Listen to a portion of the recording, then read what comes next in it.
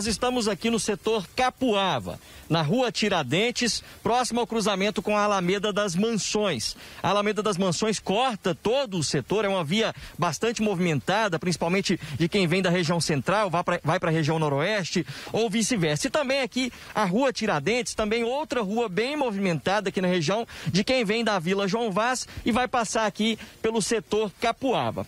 Pois é, na tarde, um caminhão carregado com cimento, muito cimento, trafegava aqui pela rua Tiradentes. É uma rua que vem numa baixada, quando chega ali é uma subida bem íngreme, uma subida forte. Então, ali por alguma questão, o caminhão perdeu a força e acabou retornando um pouco. Como é um caminhão grande, a parte da, da carreta, aqui onde vai a carga e o cavalinho ali, acabou se formando um L que é quando o caminhão, a, a parte de trás vai para um lado e a parte da frente fica para o outro. E aí ele só parou quando acertou aqui o muro da casa do seu Antônio. Estava todo carregado, boa parte do carregamento caiu, o pessoal trabalhando aqui agora para resolver a questão, tirar aqui todo o cimento. E aí deu, deu esse. quebrou boa parte do muro, sorte que não tinha ninguém ali no momento do acidente. O seu Antônio mora aqui já tem um bom tempo vai contar para a gente como é que foi. Seu Antônio, o senhor estava onde na hora que aconteceu o acidente? Luares, boa tarde. Satisfação de falar aqui. Nós somos seu fã, viu? Eu quero dizer para você o seguinte, que nós estávamos lá dentro da, da casa, minha, minha esposa estava no banheiro, e esse caminhão subiu, e lá na frente ele não deu conta, aqui tem um, uma subidinha, ele não deu conta de passar a marcha. Eu acredito que foi. Aí quebrou uma peça lá, diz ele, e esse caminhão voltou. Eu tenho certeza que nós recebemos um grande livramento, porque esse aqui é mais de 5 é, é, mil, mil, mais de 50 mil quilos descendo aqui, e ele parou bem na esquina, sabe?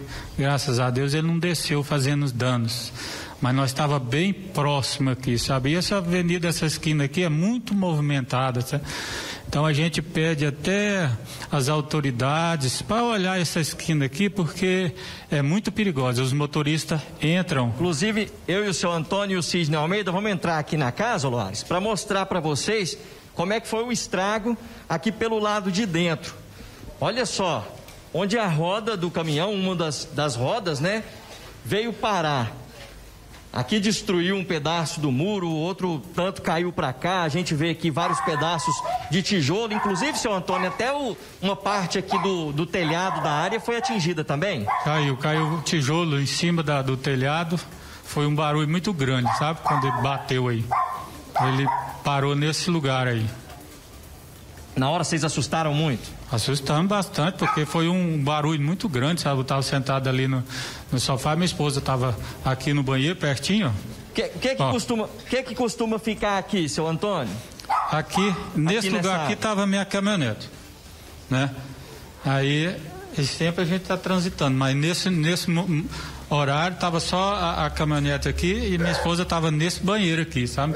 Então, foi muito, muito perto. Nós passamos nós passamos assim um, um, medo tremendo, porque um peso desse aqui, né? Se tivesse Imagino. deslanchado, então eu... Imagina o susto que vocês susto tinham tomado grande. na hora. Ô, Loares, eu mesmo, aqui nessa região da Alameda das Mansões, no setor Capuava, já vim algumas vezes é, fazer reportagens sobre a questão de acidentes. Pessoal, até o que o seu Antônio estava me falando aqui antes da gente entrar ao vivo, que a região geralmente tem muito acidente, principalmente nesse cruzamento aqui da Tiradentes com a Alameda das Mansões. Eles queriam até algum tipo de sinalização, sinalização para ver se ajuda a diminuir um pouco as colisões aqui próximo.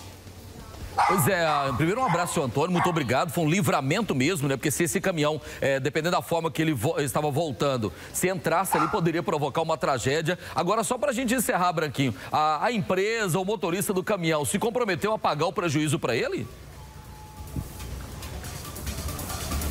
Seu Antônio, é, o pessoal do caminhão, da empresa, no caso, proprietária dessa carga aí, eles se, se comprometeram a restituir os danos aqui, a pagar o prejuízo?